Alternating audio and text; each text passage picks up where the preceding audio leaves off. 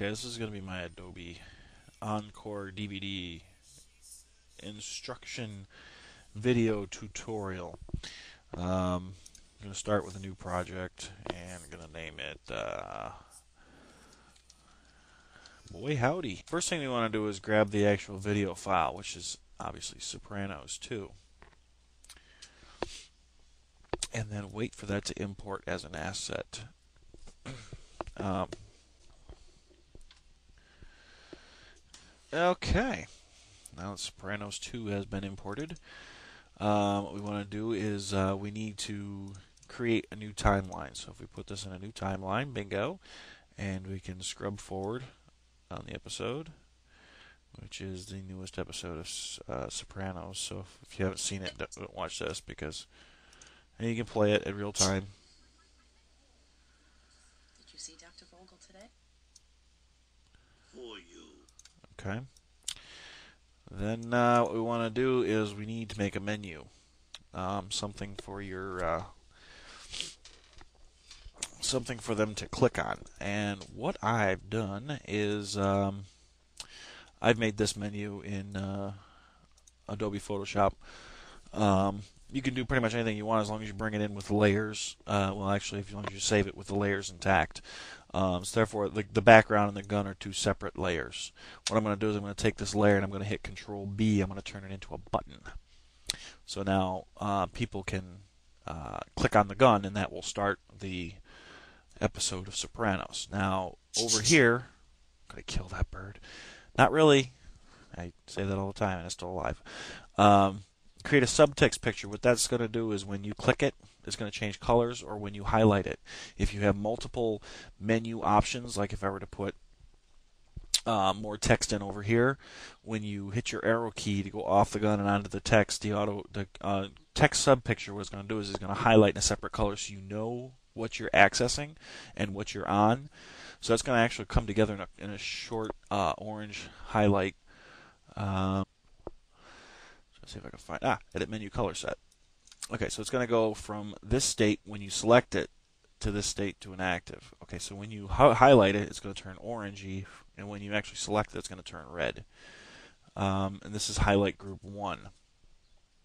So that's if you go to menu default, you'll see that because that's what I've got. I think I have them set on. I have to go back and check, but um, color set, menu default, and automatic. This is the automatic set, and if you put it on menu default, you can al alter the colors of active and uh, selected state. Now, if you click on the actual menu menu, you're going to see right here, you can change your color sets from automatic to menu default. I have mine on menu default automatically. Um, aspect ratio, um, operations, you can set what operations, you can do custom operations. Doesn't really matter. Automatically route buttons. I have no clue what that does. Um, default button setting is going to be is uh, is default one. Um, its end action actually we're going to uh, drag that over so that it'll loop continuously. Okay, so this is our menu. Basically, uh, what we want, what we've got now is the the gun, the timeline, and the Sopranos MPEG. Now, what I have is I have an opener one that uh, a video that I made. It's just a quick collage that I'm going to have to open. So I'm going to make it into a new timeline, and and it plays through. I don't know what it's for. Uh, like I said, I was sorry I had to go out to Vegas when I did. So that's how it's going to open. Just short clips from the show that was on that night. So what we're going to do is we're going to take the SOP open and we're going to check it off as set as first play. So now when the DVD starts, if we go to if we hit uh, sh- uh, Control Alt and the space bar, it's going to preview for us.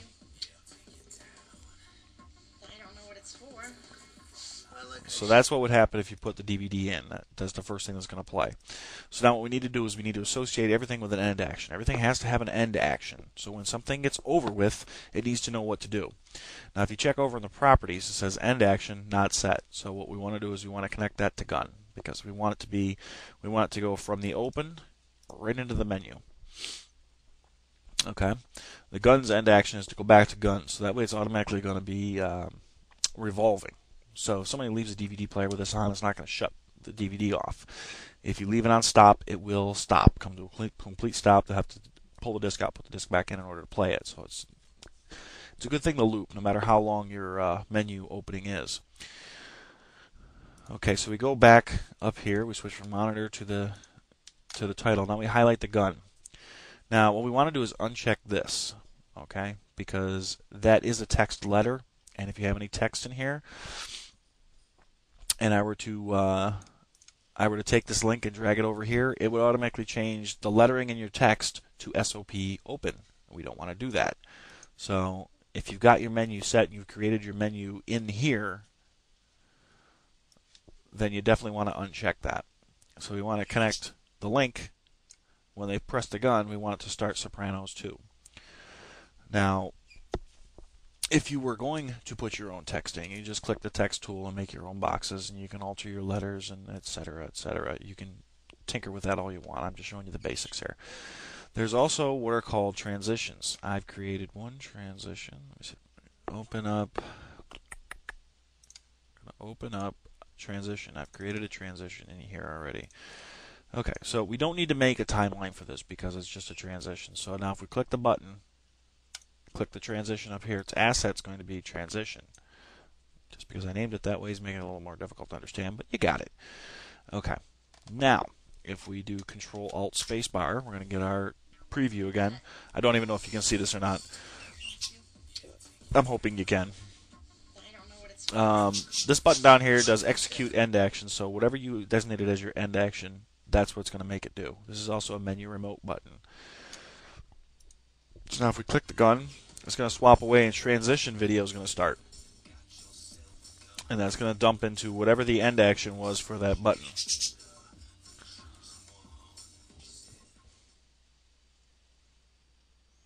Then it goes right in. Okay. So now what we need to do is we need to designate the end action for Sopranos 2 for our movie and our menu remote button. If somebody touches the menu button while in the show, you want it to go back to that. You want it to go back to the gun.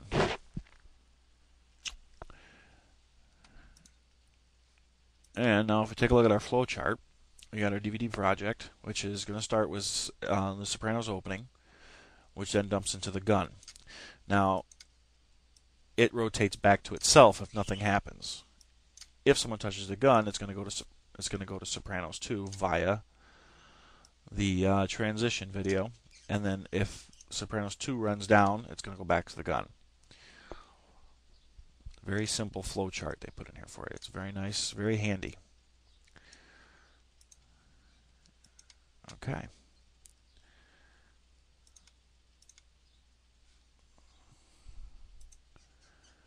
All right, now what we want to do is we want to go down, hit the File button, go down to Check Project.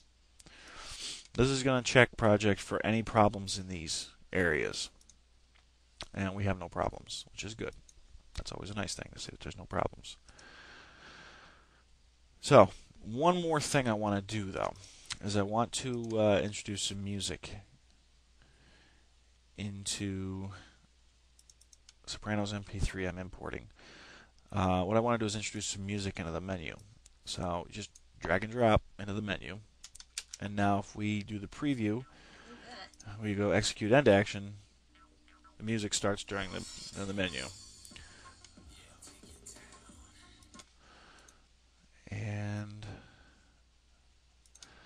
then it's just basically build a DVD. What I do is I don't burn directly to the DVD. I make a DVD folder on my hard drive, um, and then I copy um, via uh, Intervideo or Nero or what, what have you, Roxio.